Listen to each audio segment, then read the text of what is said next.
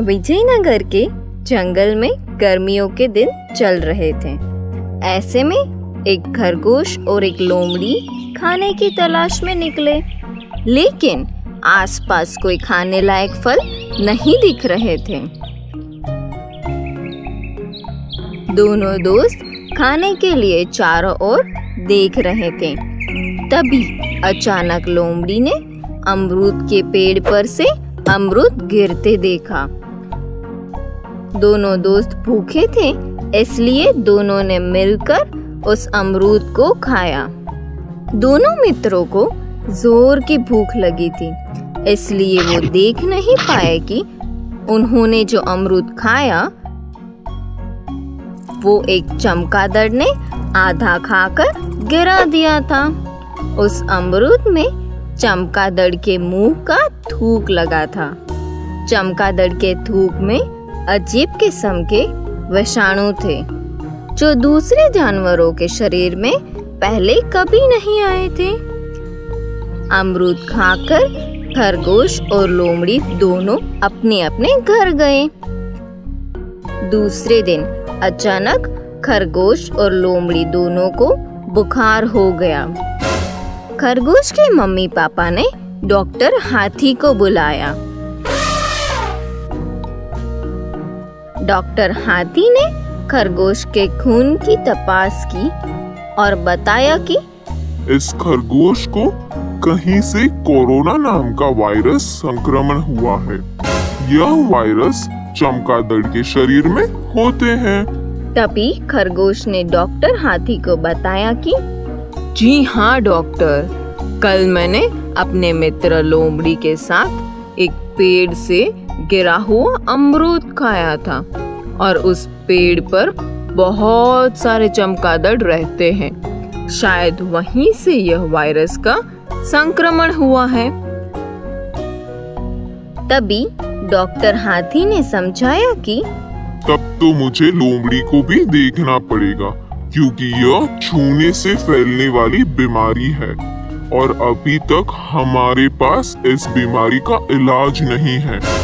इसलिए जब तक तुम अपने आप ठीक नहीं हो जाते, तब तक तुम्हें ना ही घर से बाहर निकलना है और ना ही किसी को छूना है।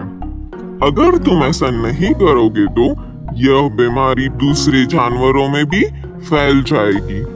बस घर के अंदर रहो और इस बीमारी के फैलावे को रोको। हमारे लिए यह बीमारी जानलेवा नहीं है। लेकिन अगर इंसानों को यह बीमारी होती है तो उसके लिए यह जानलेवा है। खरगोश को समझाकर डॉक्टर हाथी लोमड़ी के घर गए। लोमड़ी भी बीमार था और उसकी माँ उसके लिए चिंता कर रही थी। डॉक्टर हाथी ने लोमड़ी को भी समझाया कि चमकादड़ का झूठा अमरूद खाने से यह बीमारी हुई है और कोरोना की यह बीमारी छूने से फैलती है। इसलिए जब तक तुम खुद ब खुद ठीक नहीं हो जाते तब तक ना ही घर से बाहर निकलना और ना ही किसी को अपने आप को छूने देना। इस तरह डॉक्टर हाथी ने कोरोना के संक्रमण से बीमार खरगोश और लोमड़ी दोनों को ज़रूरी सलाह दी और अच्छी सेहत बनी रहे, इसलिए कुछ प्राथमिक दवाइयाँ भी दी। लेकिन खरगोश बहुत चंचल था। उसने डॉक्टर हाथी की बात को नजरअंदाज कर दिया और दूसरे दिन अपने बाकी खरगोश दोस्तों के साथ खेलने चला गया। कुछ ही दिनों में जंगल में बात चलने लगी कि जंगल के लगभग सभी खरगोश बीमार हैं। तब जाकर डॉक्टर हाथी ने जो बताया था, उसकी गंभीरता समझ आई। लेकिन तब तक कुछ बुढ़े खरगोशों की कोरोना के कारण मौत भी हो चुकी थी। दूसरी तरफ़, लोमड़ी समझदार था। उसने डॉक्टर हाथी की बात मानी और वो 21 दिन ना तो घर से बाहर निकला और ना ही किसी को अपने आप को छूने दिया। इस तरह 21 दिन में वो फिर से तंदुरुस्त बन गया और फिर से खेलने कूदने लगा। डॉक्टर हाथी की सलाह और लोमड़ी की समझदारी की वजह से सभी लोमड़ी सलामत रहे।